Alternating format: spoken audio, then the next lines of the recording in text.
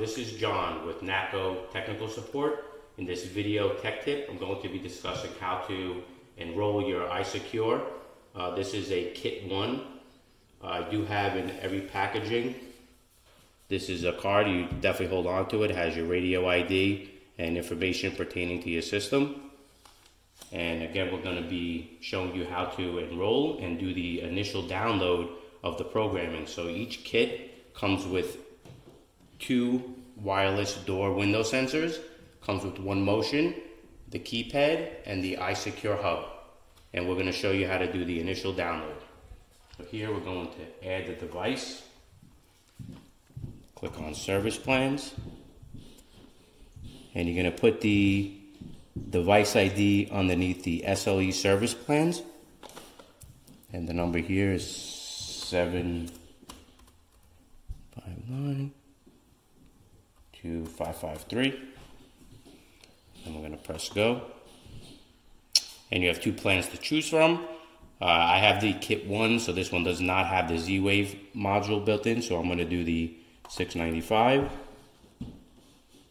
I'm going to press add. And this is going to be a new account. Just going to enter in the new information here. Kit one. And you're going to put in all the information here for your customer.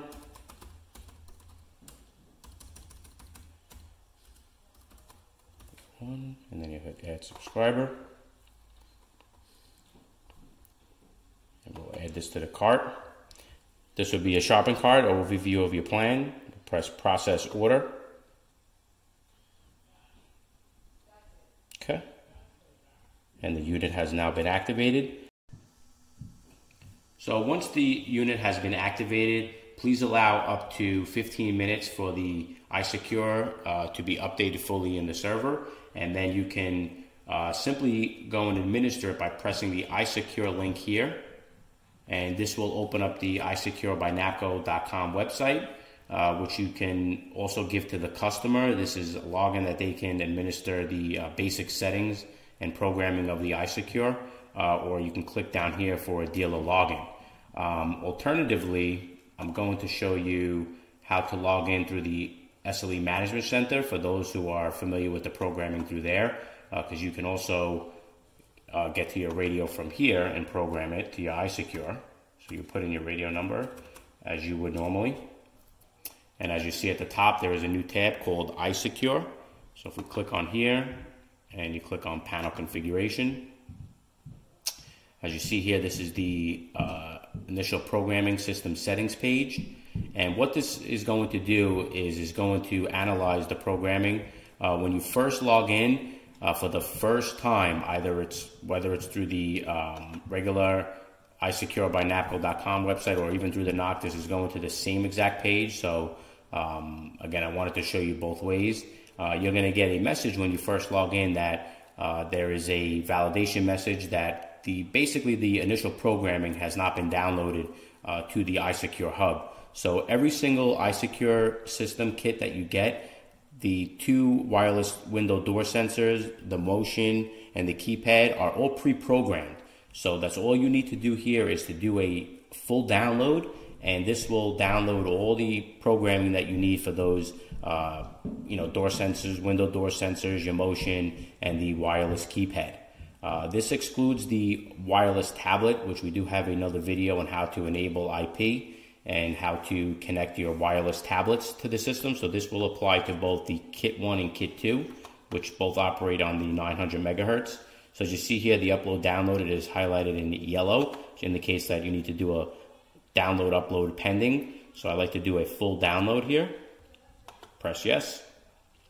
And again, this is going to download all the information uh, from the iSecure Cloud to your iSecure Hub and this might take a couple of moments here to download.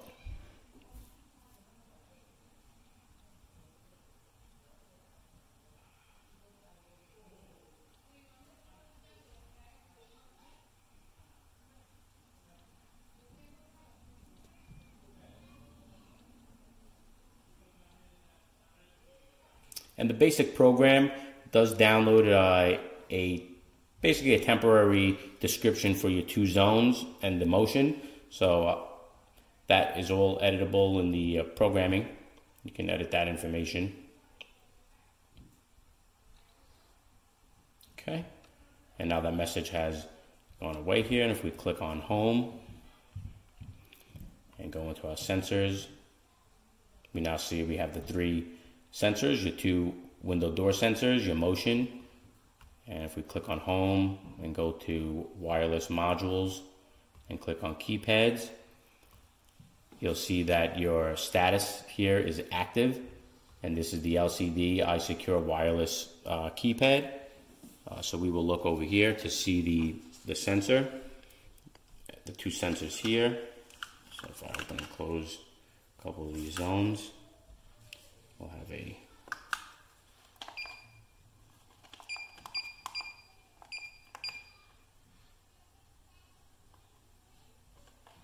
Okay, and this is actually something that I like to do here is just to go into the keypad screen and if we press relearn, here uh, in the keypad screen, LCD.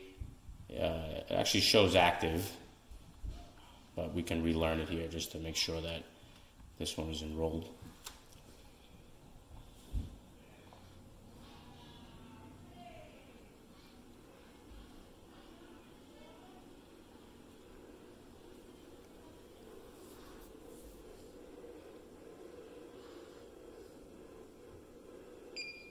Okay, the learn has initiated. And it goes through.